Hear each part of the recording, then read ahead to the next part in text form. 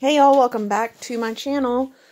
Today we are going to recap all of the work I did yesterday. I did share this picture on Instagram. So if you're not interested, you guys, you've already seen it. It's old news.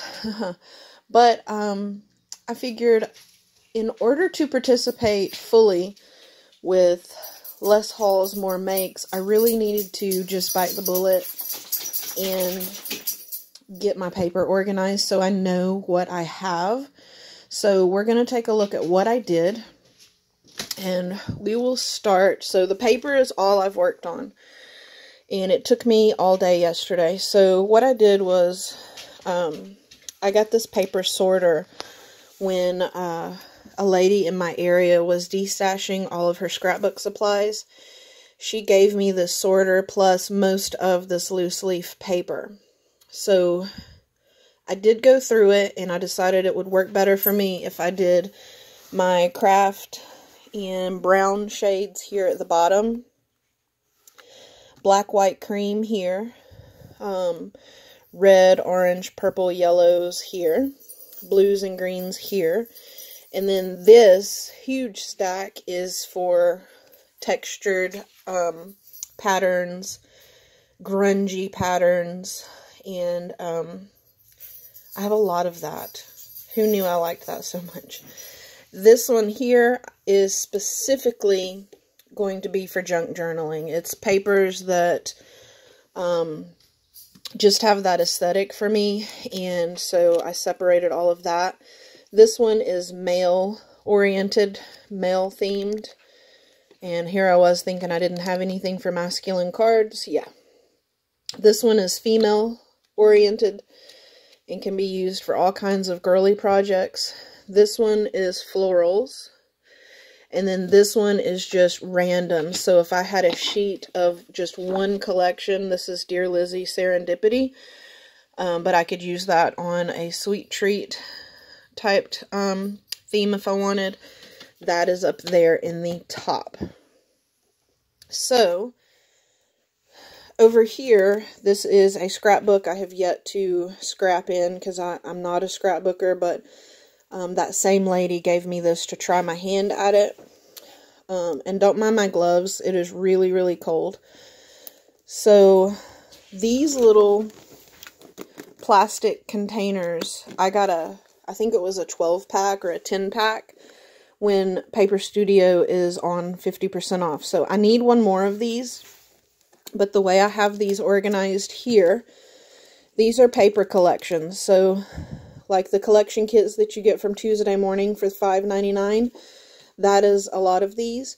And when I go to the expo, I get a lot of my paper from Photoplay. I love their paper. It's good quality cardstock. Um, almost as thick as Prima, in case you guys haven't used it before and they have great sales. So at the expo, you can get five paper collections that include the stickers for $20. So that has served me well. Um, so in this first one, um, this is actually Paper Studio, the Hey Girl. I cut this up to use for my address book repurpose project, and there were so many small sheets of paper I needed to contain it. So that's in this one.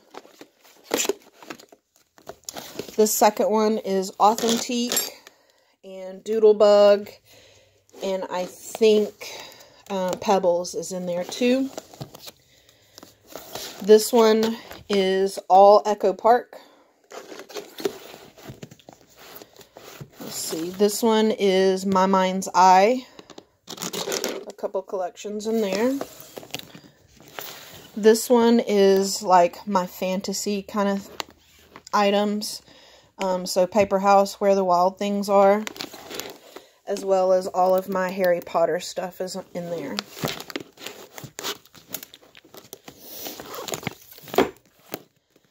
Okay, then we have, um, this is the Photoplay, one of them. So, uh, several, several collections in here. Just on the front is Paprika.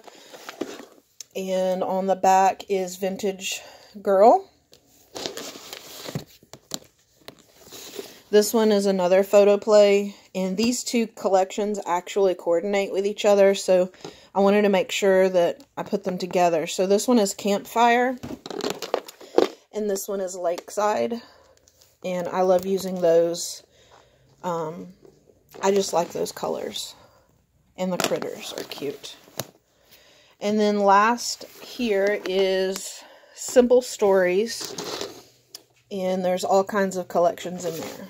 A lot of them have been used and are very loved, but this way I can just pull the whole folder out, get what I need, and go on. this here, these are all of the chipboards that I have that I don't have the collection for. So if I have the collection, it's in an iris container with that paper pad. But these, I don't have the collections, so they are loose in here. This pink one, also from Paper Studio, 50% off. They're $1.99. They're a little bit bigger. The colored ones are bigger than the clear ones. So in here, I have all of my glitter paper. I have decor. Y'all saw me haul that. My husband hasn't put that up yet. But he did um, paint these two crates. I recycled from my photography prop stash. And we made additional storage with them. So in this container, this is all vellum. So tons of vellum. This one is specialty paper. The kind of paper you get open stock, but it's in those little plastic sleeves to protect it. That's what's in there. And then this one is cards, like, um, not cardstock.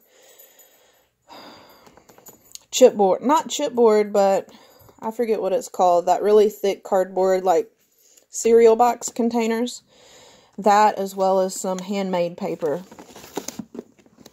These little deals I got at Dollar Tree.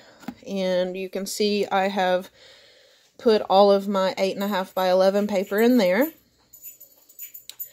These are all of my pocket letter supplies. So the eight and a, the baseball card holders as well as the smaller ones.